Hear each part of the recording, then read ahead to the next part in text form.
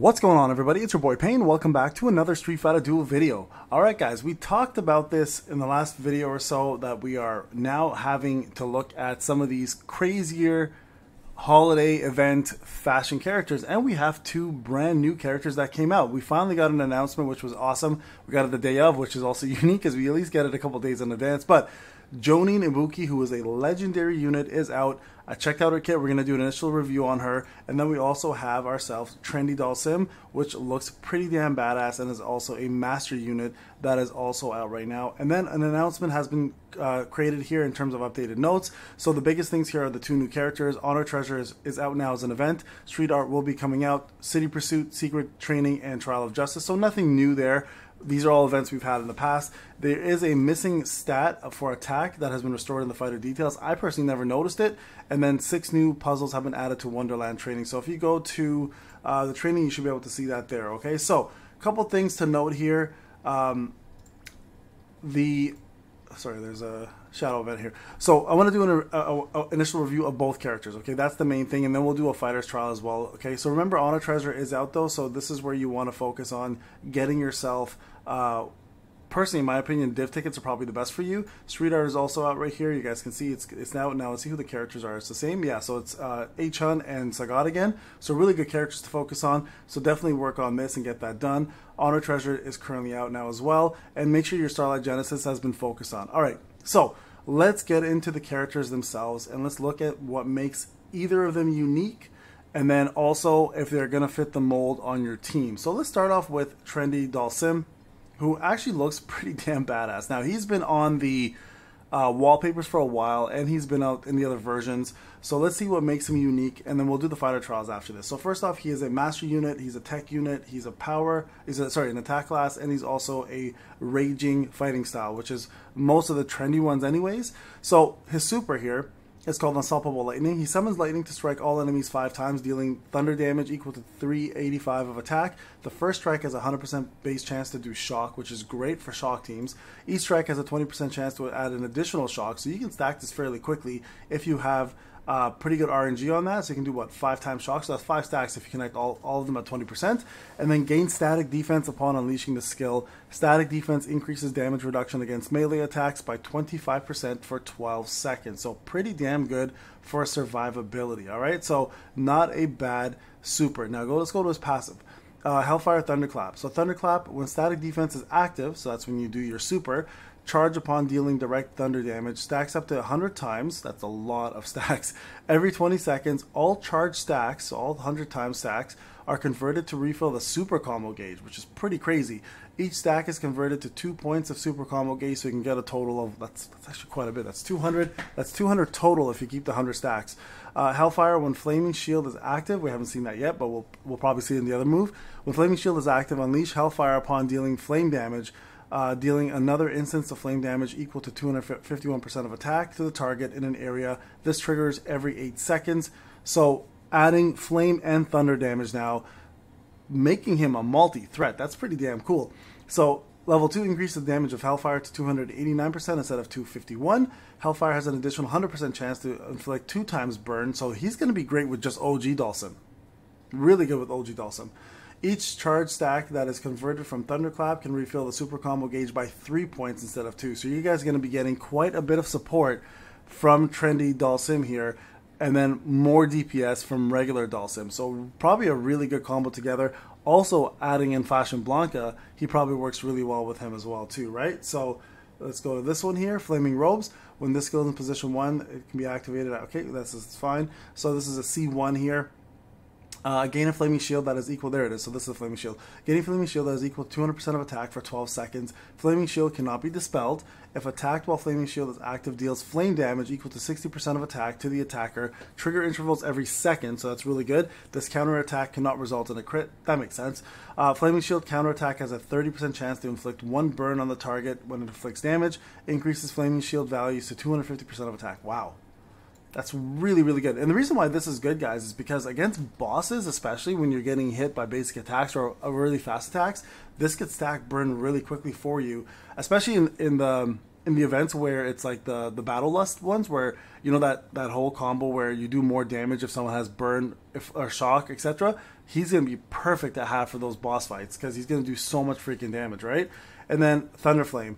Attack all enemies with 4 strikes, dealing thunder damage equal to 66% of attack, followed by one strike that deals flame damage equal to 93% of attack. The first 4 strikes have a 20% base chance to inflict shock. The final strike has a 100% chance to inflict burn. So there it is again. This is going to be where he's going to shine. He's going to do a lot of debuffing with his dots, right? His shock and his burns.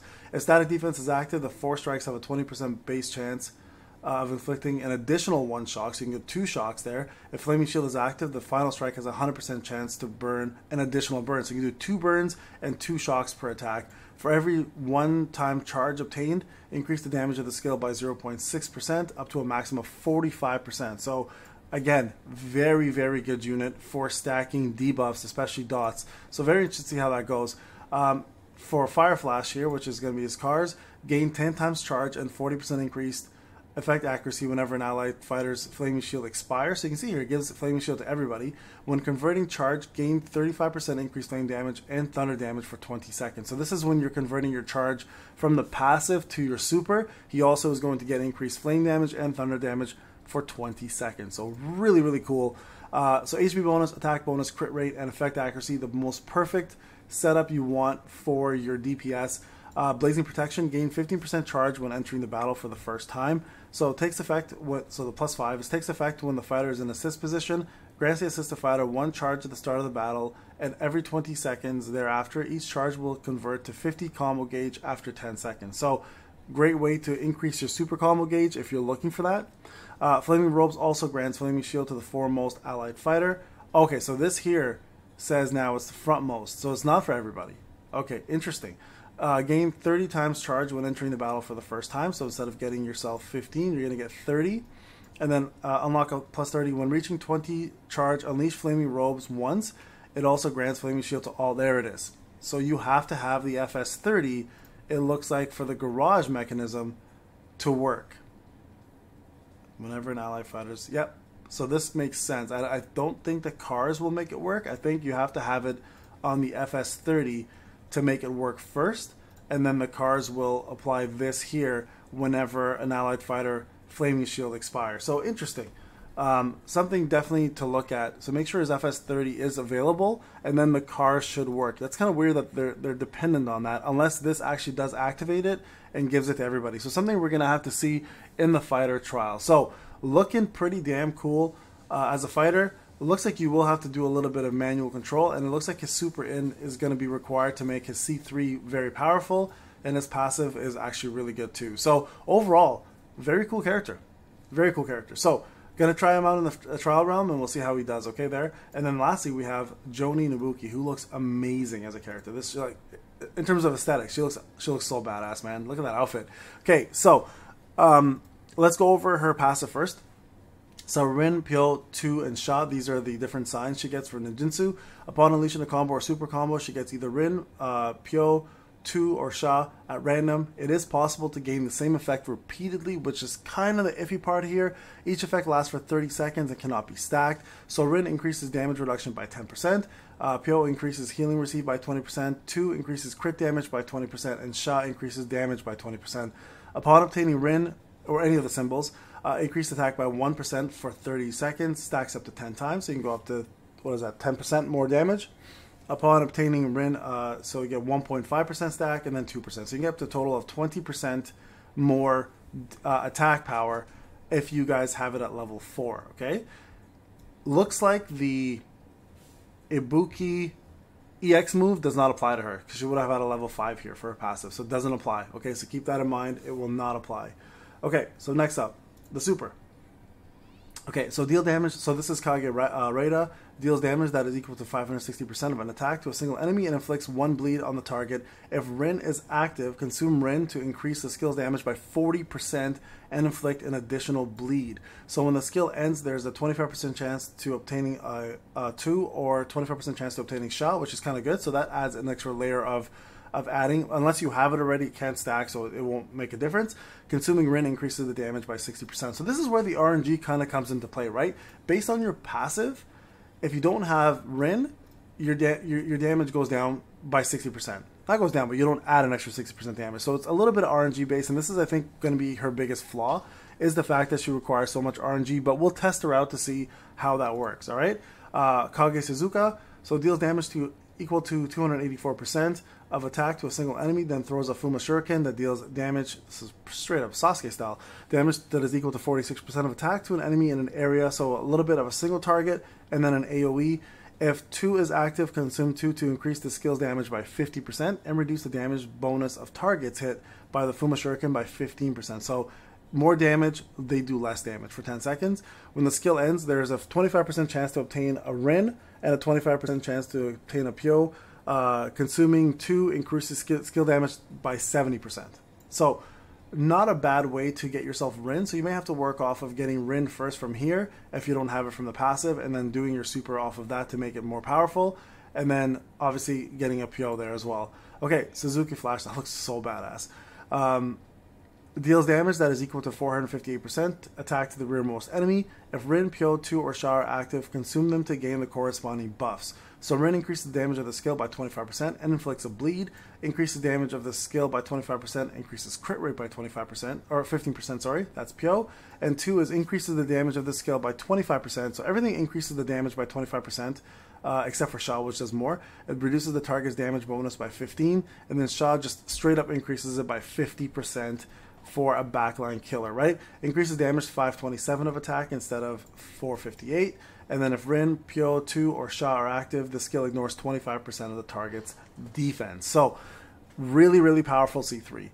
Um, every single one of them increases the damage. Sha increases it the most, but everything else adds a layer of debuffs or buffs to herself or, or debuffs to the opponent. So, making her, again, very RNG based, but pretty damn cool. All right, so the garage uh, Shadow Assassin. Increase the buff effects of Rin, Posh, uh, and Sha by 100%. The increased portion of each buff lasts until the until the end of the battle. That's really cool, okay? After gaining Rin, Pyo, 2, and Sha at least once, each increases crit rate by 30%. Wow. Okay. So because they are random though and they can happen at any time and they don't stack, again, it will be very RNG based. Okay, so there's an additional. So this is a Mantra Essence exclusive. This is her Jonin bracers. There's an additional 25% chance of gaining either Rin, Pyo, two or Sha at random upon unleashing a combo. So that's good. Another 25% to gain them. So th- this makes it a lot easier, obviously, to stack them. Uh, takes effect when the fighter is in assist position. When the assisted fighter enters the battle for the first time, they gain either Rin, Pyo, 2, or Sha at random, and the effect will last until the end of the battle. Uh, recover 5% of max HP upon gaining, okay, so she gained some HP there. There's an additional 40% chance of gaining either Rin, Pyo, 2, or Sha at random upon unleashing a combo. So this is increasing it even more. And there's a 100% chance of gaining an additional Sha upon unleashing your C3 Suzuka Flash. So her, her, her FS30 is a necessity.